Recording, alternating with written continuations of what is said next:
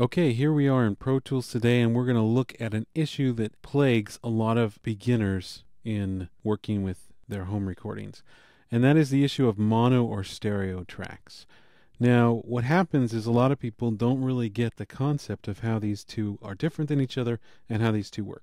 Now, you might be watching this video because you're looking on the DAWstudio.com and you're supplementing what you've read in the article on mono or stereo or you're finding this on YouTube. If you're finding it on YouTube, if you want to learn more information about it, click in the description below and there's going to be a link to the article. If not, just keep watching this so you can get a little bit more than what is being said, so you can see more of what's being said in the article. Okay, so basically, the, the problem that happens is when somebody goes to record a vocal, like we see here, they want it to be stereo. They want it to come out both speakers. And so the, the natural inclination is to create a stereo track to record it onto. The problem is is we only have one input with a microphone here.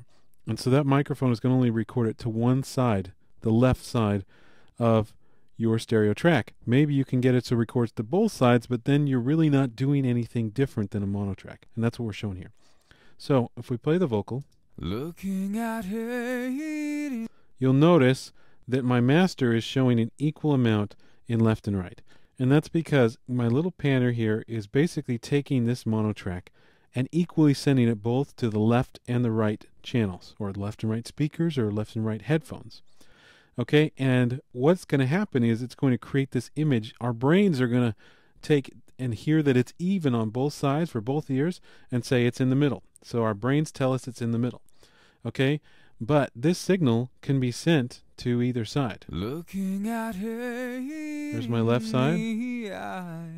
And there's the right. And you can see the difference as I transfer over from left to right and back. Okay? And uh, there's another article on the site. If you click on the panner knob on the, the DAWstudio.com, you get a nice article about panning and learn a little bit more about that. Okay? But basically, if you are able to record onto a stereo track with identical mono files, it's going to be exactly the same as a mono track here. Okay? And so what happens is maybe somebody figures that out and so they record the mono track instead of stereo. Okay, they got that problem solved. But then the next problem they run into is they say, okay, I really want to fatten up this vocal. And so they say, okay, if I duplicate it, so I'm going to right click here and go to duplicate and just say yes on everything.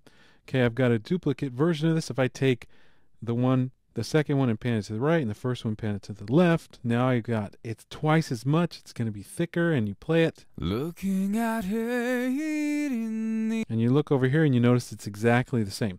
It might be a little bit louder because in panning there's this little dip that happens in the center that helps us make a smooth transition from left to right. But it's actually this right here looking at her. is no difference no different than this right here. Looking at her. It's only a little bit louder because there's that dip in the panning. And we can actually take that off and then it would be exactly the same. Okay? So the key is is doing this is beneficial if we do something to one of these tracks Okay, we have to make some kind of change to one of these. And the most common and easiest and simplest and best thing to do is to add some delay. Okay, so if we go to our delay, get our nice little mod delay that comes with Pro Tools, and we're going to do like a 50 millisecond delay if we can dial that in. 50. Okay, and hit play. Looking at her in the eye. And now we have a stereo effect. Okay, so we've got the left side is the dry or unprocessed signal, and the right is delayed by 50 milliseconds.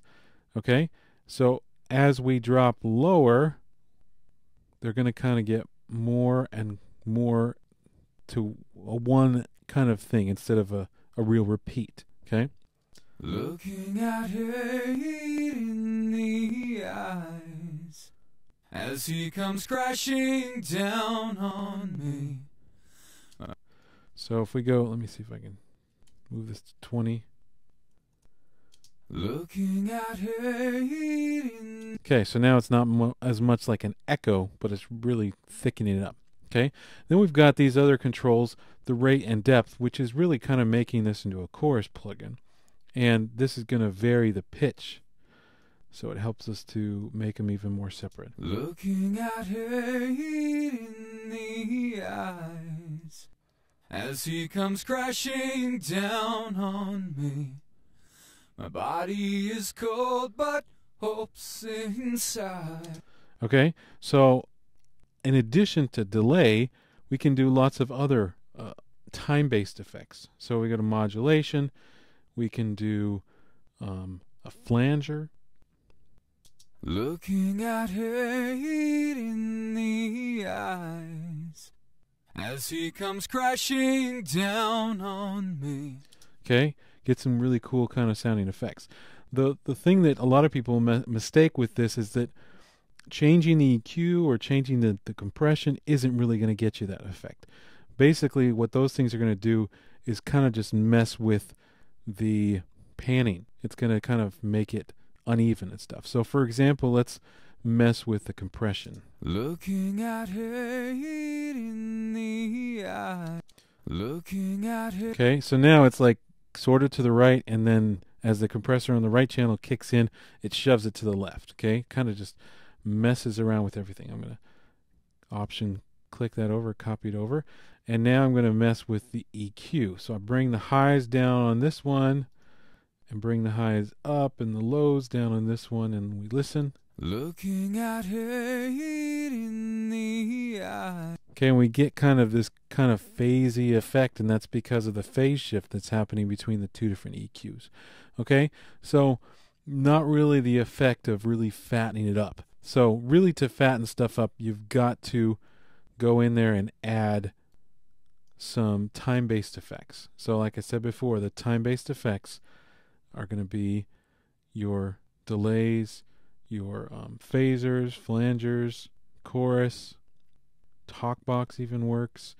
Okay, all of these crazy kind of effects are going to help you get a, a thicker vocal and make that mono signal a stereo signal in a legitimate way.